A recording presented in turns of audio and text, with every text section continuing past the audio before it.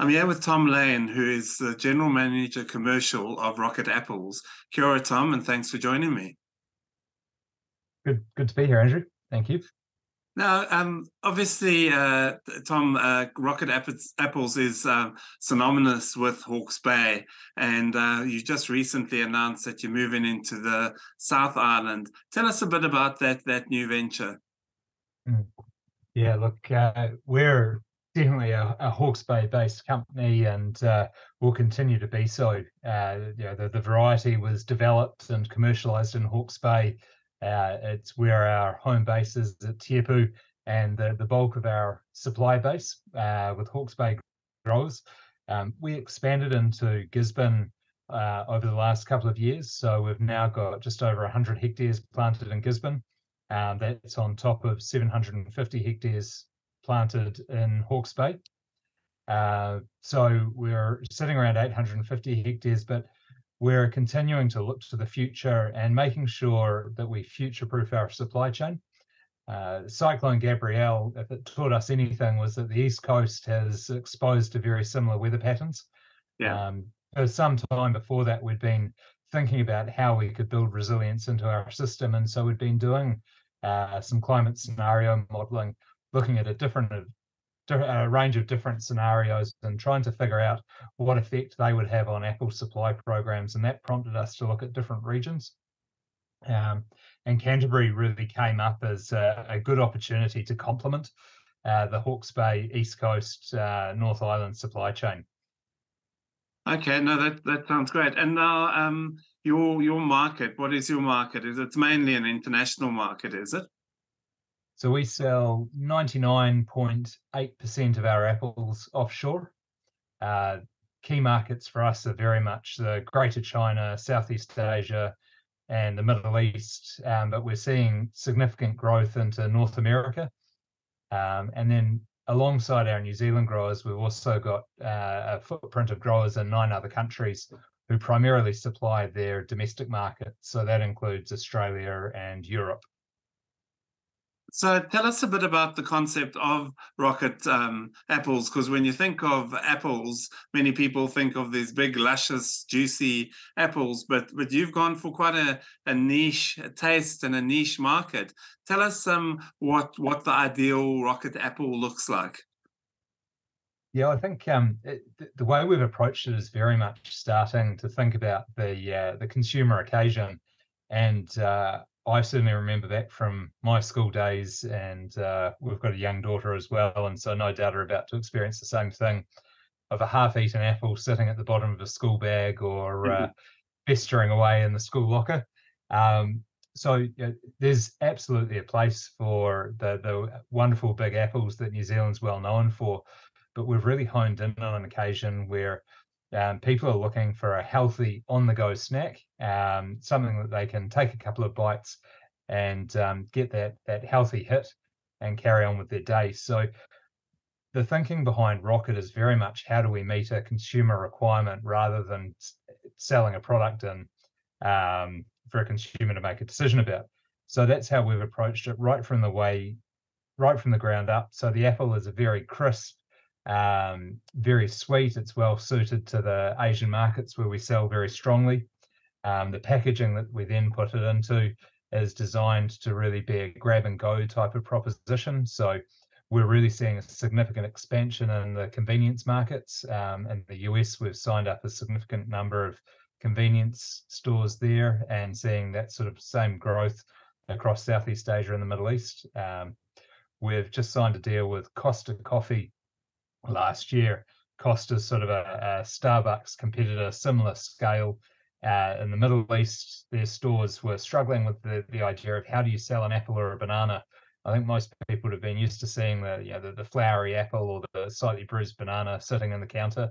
Yeah. Um, we've designed a two pack piece, which is great for uh, those types of stores where it comes in a shelf ready pack. All the store has to do is peel off the top, and it's ready to serve. It's got a barcode so they can scan it out. And the properties of the apple mean that it, uh, it keeps well um, and it's it's a particularly good experience for the consumer, so they keep coming back. Um, the tube itself has a number of benefits, including um, helping keep the apple going. It's like a mini cool store. There's some proprietary features around the design we've got there. Yeah. But not just the product, but the marketing of the product that's that's significant to a part of your success. Right the way through, so that you know the, the product itself, we start with a great apple, we put it in a um, in a functional packaging, uh, and then the marketing we wrap around. So this year we had a great brand partnership with Pokemon in China. Um, that built on a previous campaign we'd run with Minions uh, to celebrate their new movie launch last year, and we've got a pretty exciting one lined up for this year that unfortunately I can't tell you about just okay. yet. Okay, great. Um, now the apple itself. Um, so this isn't just you going around and looking for smaller apples than normal and shoving them into into uh, tubes. Uh, is it a you? You've obviously got a varietal of apples. What what's what sort of varietal is this? Yeah, the, the apple was developed by Plant and Food Research as part of their breeding program. Um, that was a it was a long process, uh, and that is ultimately owned by Prevar. Um, so Prevar, as the variety owner, was looking for a partner to help commercialize, and Phil Ellison was uh, probably uh, best described as the maverick that saw the opportunity to combine the great eating apple with the uh, with the packaging and the the consumer proposition. So the apple is um, significantly smaller. It ranges sort of around that 80 to 90 gram size, whereas a normal apple would be 200 grams plus. Um, it is it is very crisp and very sweet, uh, more so than uh, than a lot of the more traditional varieties, um, and has very good long keeping properties. Now, is there anything different uh, in the way you you harvest and uh, produce and uh, market uh, or not market, but the whole process of getting it out to consumer than any other normal apple? Is there any sort of thing that you have to do differently? Um, it's a good question. Is uh, the the apple, the size of the apple being smaller than most, uh, presents some unique challenges uh, around picking. Um, obviously, you can't pick as many small apples in a day as you can big apples. Um, so we have a slightly longer process there. Um, and then when it comes to the pack house, we've got a specially designed pack house suited to the smaller apples. It doesn't lend itself to uh, running through the same system as a bigger apple, which really just comes down to size. Um, but Rockit's put a lot of focus into automation, um, particularly in the pack house. So on Orchard, we're lucky to benefit from the same developments that many other apples do around uh, platform assist picking um, and a lot of the technology that sits in there. But the robot pickers that some people may have seen operating in our pack house, which is a, a series of robot arms that uh, with an algorithm that tells them which apple to pick up and fill it fill into a tube to get the perfect fill, um, is very unique. Wow! So um, there's yeah, yeah, carry on. Sorry. No, no, no. Yeah. So there's been a lot of research and development um, in fine tuning how your process. Absolutely. Yeah. Yeah. Yeah.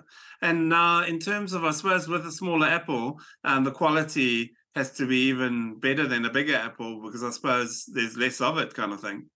oh, look, I think uh, the thing that Hawke's Bay growers in particular are well known for is producing fantastic apples.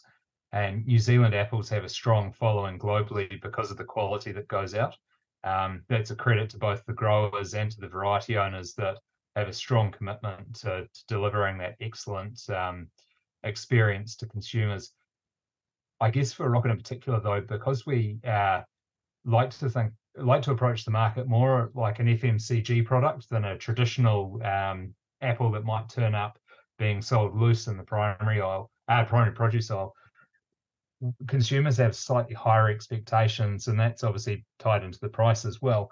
Uh, um, every time you bite into a Snickers bar or you have a can of Coke, you want that same same experience. You don't really want a variation in taste. So we work particularly hard to make sure that when consumers open a tube of Rockit apples, the um, the taste, the flavour, the texture, etc., are all very consistent, and um, we certainly see that driving strong uh, consumption rates, repeat consumption rates for our product. Now, what's this year's harvest looking like? Is it looking good? When when do you actually harvest apples? Is it around now or um, later on? No, so there's um, the orchards are a hive of activity, but uh, this is all around setting up for a successful harvest. We'll start harvesting in February. Okay, and is it looking good for, for this year? For next year? We've uh, we've we've learned to be uh, to be very cautious, but I think we can say we're cautiously optimistic um, everything going according to plan, it'll be great. We're um, certainly with our orchards coming on stream, we're expecting to see a significant volume uplift um, as the orchards start to mature. Yeah. And and what are the expansion plans in Hawke's Bay? Do you have any further? You, we've spoken about you moving elsewhere. Is there any um, plans to sort of expand here locally as well? Absolutely, we're continuing to uh, to work with a number of growers that are expanding their existing Rockit plantings and talking to new growers looking to develop Rockit orchards. Um, we've been really pleased to see that a number of the growers that are uh, reconsidering their plantings following Cyclone Gabrielle are looking to re-establish orchards with Rockit as a premium variety. So that's been really positive. Okay, and now people see you say that it's marketed mainly as a snack. Are there any other uses for Rockit apples? Any um, uh, is it just a case where however you want to use it in fruit salads, that sort of thing, or is it mainly just a, a snack? Yeah, I'd really recommend people go along to our website. We've got a, a range of great uh, recipes sitting on there. So uh, it can go into a, a savory salad and add a and add a burst of flavour. Um, good as you say in a in a uh, fruit salad, but we've got a number of uh, partners that have come up with some amazing recipes for cakes, and I think there's even a uh, a drink in there that uh, uses Rockit apples as its base. Oh, that sounds good. All right, well, Tom Lane, thank you so much for your time and just telling us a bit more about Rockit apples. I think everyone's heard of them and regard them as Hawke's Bay's own, but good to hear what you're actually doing in that. And thanks for your time. Not at all. Great to talk. Thanks very much. Thank you. Thanks.